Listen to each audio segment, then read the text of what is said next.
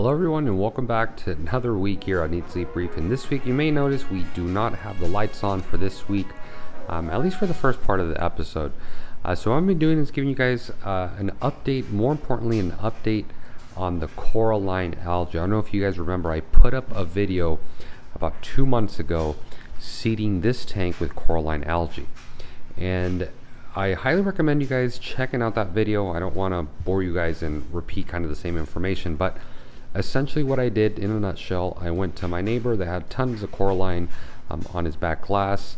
Uh, he scraped off a big chunk. I crushed it. I uh, blended it pretty well, not blended it, but I made sure it was crushed to really, really, really fine uh, particles, essentially a dust particle. And I was able to uh, put it in the tank with obviously all the flow turning over and everything. And um, what I was able to do was essentially seed the tank with coralline algae. Now, there's a few products out there that essentially are sold and kind of doing the same thing. I even know of, of stores that'll sell you um, ground up coralline algae. So, personally, I feel that's the best way to seed your tank. It's very natural. Um, I have seen some companies that have certain additives. I'd rather do it this way because, again, it is a lot more natural and kind of you're doing it the same way that it's being done in the ocean. So I did that two months ago. Um, was when that was done. I haven't given you guys an update, but uh, if I be totally honest with you, I started seeing coralline growth as of probably a month, maybe a month and a week. Within a month, I was already noticing uh, growth. Now it's really everywhere. I mean, and the main reason I have the lights off because when they come on, it's very difficult for you to see but I don't know if you can see all that is coralline, I mean, coralline, coralline, coralline, um, coralline, coralline all right there, coralline all right there, tons of it, you know, even coming up here. So this tank, as, as you're seeing, it's a good sign. Generally speaking, when you see coralline, is a lot of times when people recommend you to start adding corals of the tank. More importantly, stick pieces. You can see I have quite a bit of sticks in there uh, because coralline is one of those algae that'll grow when the parameters are really stable in your reef tank. So they're a good way of showing you that your tank is very stable. I have a lot of people messaging me, especially when I made that first video on seeding your tank with coralline, saying they can't get it to grow. Um, you know what I recommend.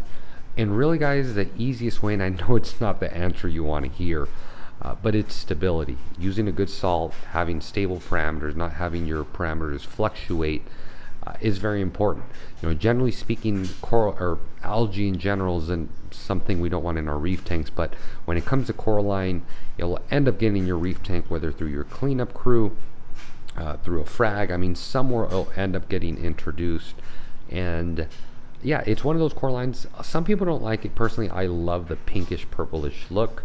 And yeah, that's a way I recommend. But I'm very happy to report, as you can see, within a month, um, I would say, you know, again, maintaining good parameters. My specific tank here was able to work. So it's a very cheap and ineffective way of seeding your reef tank. And I can honestly tell you it does work. So I've briefly spoken here about the coralline, not the coralline, shoot, let's stop talking about that. I've spoken to you guys about the uh, chaeto algae, and that is here, the microalgae. So this is an algae that generally reefers will try to grow in the reef tanks. It's one that heavily promotes uh, exports of nutrients, both phosphate and nitrate, as well as replenishes uh, fatty amino acids in the tank. So it's, actually, you know what, me, I need to adjust my skimmer, I just remembered this. Um, another tip I want to give you guys, this is actually, couldn't have been any better timing.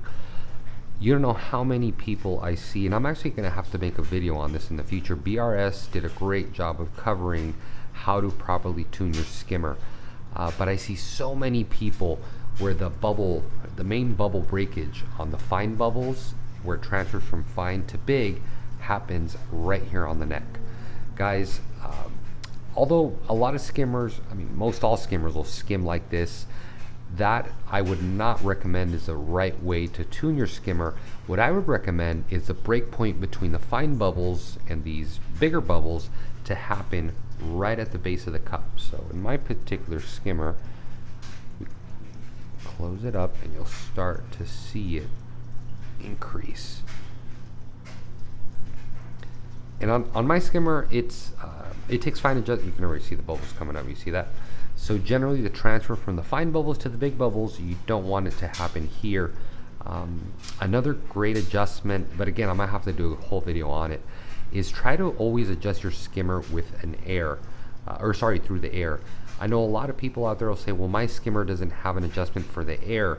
You can actually get a, a, a needle valve, or you can get a, um, uh, it's like a clamp that in essence would would would crush the not crush the hose but would close the air hose off so you're able to dial down the air on your skimmer. But again I'm gonna do a whole video on that in the future because I think it's very necessary.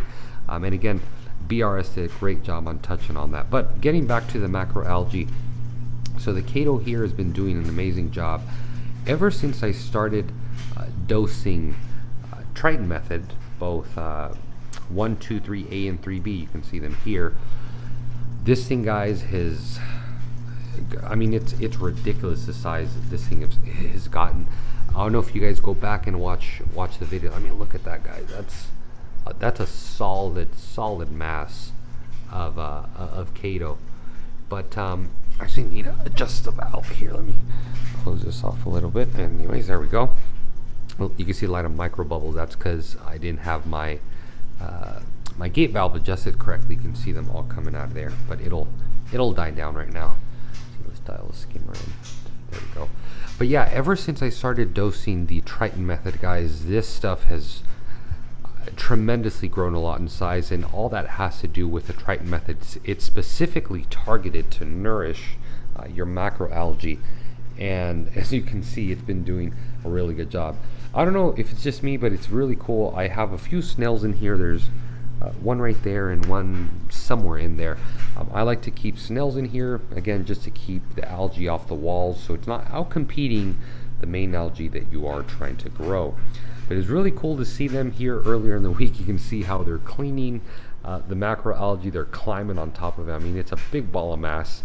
Um, and it's crazy to see how, how much weight this thing is going to hopefully start caring here in the near future. There's just so much mass to it, as you can see. So it's no secret if you have been following the last few videos I've been doing, uh, you probably saw me complaining about my SPS sticks just really browning out, losing a lot of color.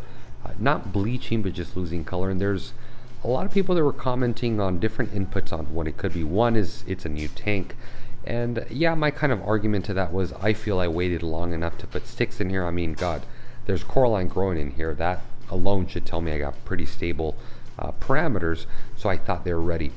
Um, them not bleaching is, is kind of letting me know that the light isn't too strong. Uh, so I've, I've tried to increase the flow a little bit. More importantly, I think what um, I narrowed it down to is just a lot of nutrient export. Obviously, there's only one fish in there. Um, it's not like before I had about six, seven, and all the poop was, you know, in essence, essentially feeding the coral. So my plan of attack for that was, and what I have been doing, is dosing continuum products. So both aminos, ocean snow, and coral exponential. I've been dosing these on a daily basis, um, and I think I've been seeing good results. I've actually seen, uh, started seeing a little bit more uh, polyp extension. I mean, very, very little. You know, I'm not going to tell you guys it's a, a, lot, but I've been starting to notice a few uh, results going in the right direction. And one tip I have for you all I'm sure a lot of us have containers like this. It doesn't matter what you're dosing, but sometimes it's very difficult to count the drops on here or pour it onto um, the cap. It just makes it very difficult. It makes a huge mess. So what I went ahead and did and what I highly recommend you guys doing, especially if you're dosing aminos like this or any coral food, is go over to Amazon and I'm gonna have a link in the description and order yourself these UV resistant uh, glass uh, droppers, eyedroppers, I guess you can call them. Um, obviously they come empty, they're brand new, they don't come with liquid. But what you're able to do guys, it's so much easier to do your doses with these guys. Um, I know for a fact three pump, three full pumps of this equals two uh, two milliliters. Uh, so you can kind of do the math there. And this one already came in one of them, so obviously I didn't have to change that one. But for any of you guys that are dosing aminos, you know, any coral food of that sort that you have to, you know, kind of pour the bottle and it gets sometimes difficult or uh, hard to figure out how much is going in. Really, really highly urge you guys to transfer them to this. Obviously, all you got to do is uh, label them. I mean, you could even use a Sharpie if you wanted to. Uh, and it just makes it a lot easier. So I think it's going to be a great tip for you guys out there that are dosing. But yeah, I am happy to say that at the very least, this stuff uh, seems to be working. It seems to be doing its job. I mean, uh, I think uh, a lot of us can agree that that the issues I believe are just there's not enough free floating matter in the tank as far as nutrients. Uh, coral food. So I've been feeding a little bit heavier, not only with frozen food, but also this coral food and amino acids to hopefully get them to bounce back. But like I said, they're they're holding on. It's not like they're getting worse and worse as time goes on. They just kind of browned out and that's about it. It's really cool to see the Zoas. The Zoas guys are just multiplying like crazy now. Um, but yeah, it's very, very nice to see that. So a lot of people also ask me, and one thing I want to cover, um, ask me in this new tank how I've been doing to to kind of manage the algae. Um, how come you know the rocks still look in really good condition, the sand still looks pretty good, and what I've been doing. So I still do uh, water changes, not as often. Even though I started the Triton method, the only reason I'm doing the water changes right now are to essentially just uh, siphon the sand bed, uh, maybe take a, a, little bit of algae off the rocks if there is any. I mean, I have a small little area there, um, but nothing too crazy. And that just really helps the tank to, again, stay on track, manage and export the nutrients. I mean, it's doing a great job. So, in essence, all I'm really doing is just cleaning the sand bed. Um, I know a lot of people don't like to stir up sand beds. I personally am a, a person that love to stir them up. I just feel if you don't stir them up, tons of bad stuff can grow under there. And if you ever do happen to move the tank or accidentally stir it, uh, you'll get some, you know, crazy gases coming out of that stuff. Um, tons of, of detritus, tons of, you know, essentially stuff that isn't good for the tank. So I highly recommend, especially if you have your newer tank, uh, to surely siphon your sand beds. And the recommendation I make for water changes, guys, 5% I really don't think enough. I mean, even in some cases, uh, 10% I don't believe is enough. Um, I think a 15 to 20% is where you really start making changes in the tank and where it will really start rewarding you.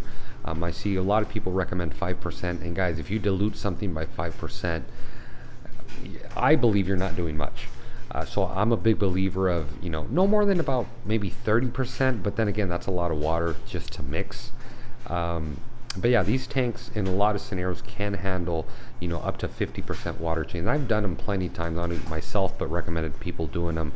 Um, but yeah, I think generally speaking, if you are doing water changes, 20% is a good place to be, 15%, because again, a 5, even 10% dilution um, isn't very much when you're trying to dilute nutrients or replenish stuff um, in the water. I think the main reason we all do the water changes, more importantly, is to dilute the nutrients. Because um, a lot of us do dose, so it's not really like we're using it to uh, maintain our parameters. So that's kind of my take on it. Look at that little bubble. But um, yeah, guys, I'm gonna obviously keep you guys updated on the SPS sticks. The goal now is to not add any more coral till we start getting the polyp extension back um, on the acros on the top. I'm very happy with the growth on the, the I mean, the Goni's doing great, the mushroom's doing great, the torch is doing great, the Zoas are doing great. So everything else is doing good. Sticks are always a little bit more difficult. And yeah, you know, a lot of people can blame new tank syndrome. I think to blame is a nutrient export is really good in the system. Because um, again, I have been feeding very heavy. Even though you don't see fish other than that one guy in the back, this tank does get fed very, very heavy. So that's going to be it guys. I just wanted to fill you in on this update to kind of keep you on track to see what's going on. Uh, to kind of get an idea of what I am using, such as these uh, products here, as well as the aminos, and just kind of take you along the journey. You know, I know a lot of people would love to share only the good times. I think sharing the struggles is not only going to benefit myself, but hopefully one of you out there, or many of you, will learn from this video. So we're going to end the video here. I thank you guys very much for watching. As always, happy reefing.